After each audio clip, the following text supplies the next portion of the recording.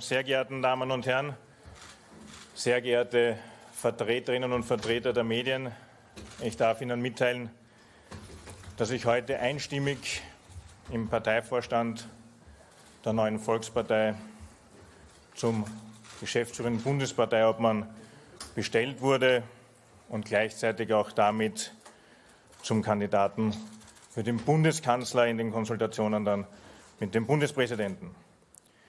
Es ist für mich persönlich eine große Ehre, dass ich mit diesem Vertrauensvotum ausgestattet bin, dass ich die Obmannschaft für die Volkspartei jetzt leben darf. Ich sage das ganz bewusst, weil die Volkspartei als Bewegung für mich schon sehr lange eine ist, die mich immer fasziniert hat und es tatsächlich ein Privileg für mich ist, jetzt diese neue Volkspartei anführen zu dürfen.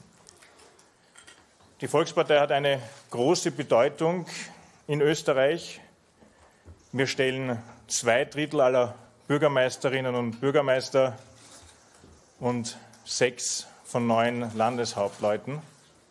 Das heißt, wir sind in der Breite der Gesellschaft, in der Breite Österreichs vertreten, um Politik für die Österreicherinnen und Österreicher und Menschen, die in Österreich leben, tatsächlich zu machen.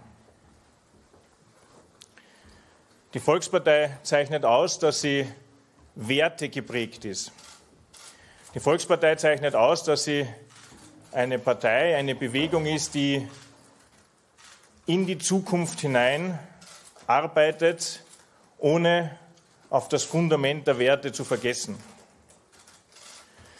Politik aktiv zu gestalten, ist unser Selbstanspruch. Und ich habe großen Respekt vor der Entscheidung von Sebastian Kurz, der den Weg für mich als neuen Obmann der Volkspartei freigemacht hat, der in seiner, seiner Zeit als Bundesparteiobmann der neuen Volkspartei unglaublich viel geleistet hat und das lässt sich daran bemessen, wenn man sich die Erfolge tatsächlich auch im Detail anschaut. Die Volkspartei ist in seiner Obmannschaft tatsächlich wieder Volkspartei geworden. Es ist uns und ihm gemeinsam gelungen, wieder Menschen zu erreichen, die sich schon davor lange von der Volkspartei abgewandt haben. Die Sozialpolitik der Volkspartei hat sich in seiner Zeit als Obmann massiv hin zu den Menschen gerichtet, die oft vom Leben nicht bevorzugt sind. Wenn ich an die Pensionistinnen und Pensionisten denke mit kleinen Pensionen, wenn es um die Entlastung von Geringverdienerinnen und Geringverdienern geht und wenn wir daran denken, dass wir jetzt auch richtungsgebend mit unserem Koalitionspartner die ökosoziale Steuerreform auf den richtigen Weg gebracht haben. Gleichzeitig war auch in seiner Zeit als Obmann und ist auch für mich als neuen Obmann der Volkspartei wichtig, dass wir unsere Linien halten, dass wir klar sagen, was notwendig ist, wenn es um die Frage Asyl und Migration geht, wenn es um die Frage der Sicherheit für die Menschen in unserem Land geht. Für mich sind drei Grundwerte in der Volkspartei besonders wichtig und sie sind vor allem Grundwerte, die in der heutigen Zeit eine größere Bedeutung haben denn je. Verantwortung, Solidarität und Freiheit. Die Freiheit ist ein ganz zentraler Begriff in einer Demokratie. Und sie zeichnet freie Rechtsstaaten aus, dass Bürgerinnen und Bürger unabhängig ihrer Neigungen sich frei entfalten können. Aber Freiheit ist ein kostbares Gut. Denn die eigene Freiheit sollte dort enden, wo die Freiheit des anderen beginnt. Und die Freiheit heißt es auch, eine Entscheidung zu treffen, nämlich solidarisch zu sein mit einer Gesellschaft, aufeinander aufzupassen. Solidarität ist einer der Grundwerte der christlich-sozialen Philosophie und zeigt sich gerade in Zeiten der Krise füreinander da sein, füreinander einstehen, aufeinander aufpassen,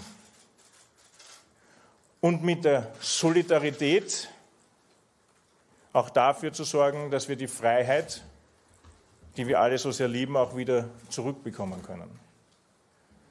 Und da geht es um das Thema Verantwortung. Sie wissen, in den letzten Wochen, Monaten der Pandemie, oft zitiert, oft gebraucht die Eigenverantwortung. Aber die Eigenverantwortung ist in Wahrheit das Grundsymbol von Freiheit.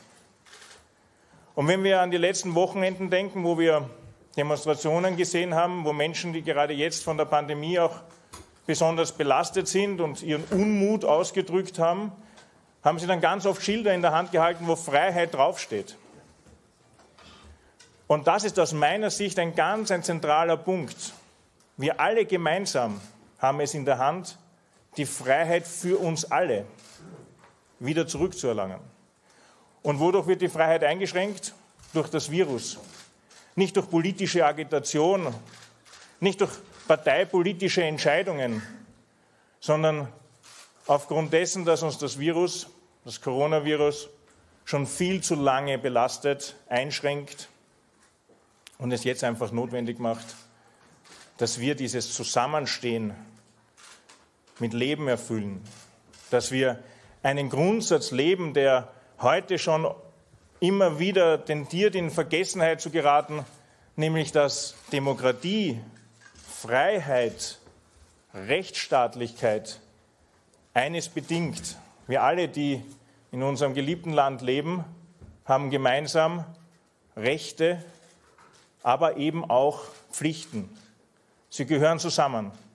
Und es ist jetzt Recht und Pflicht, gemeinsam, gerade von uns auch, als politisch Verantwortlichen dafür zu sorgen, dass wir das Virus einschränken, dass wir das Virus dorthin verbannen, wo es hingehört, nämlich in eine Ecke, sage ich ganz bewusst, der Republik, wo sie uns nicht weitaus das Virus selbst gefährlich wird, nicht einschränkt und freiheitsbeschränkende Maßnahmen notwendig macht.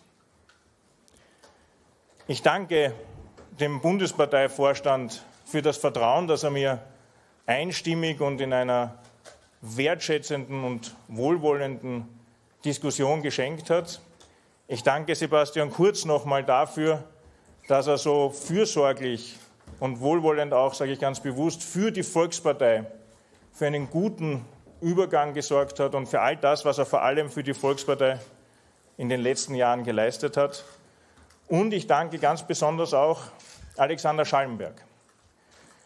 Alexander Schallenberg war bereit, in einer sehr herausfordernden Situation Verantwortung für dieses Land zu übernehmen, im wahrsten Sinne des Wortes der Republik zu dienen. Und dafür bin ich ihm persönlich sehr, sehr dankbar.